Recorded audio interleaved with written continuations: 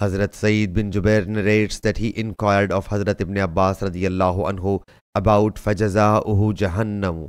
Then his recompense is hell.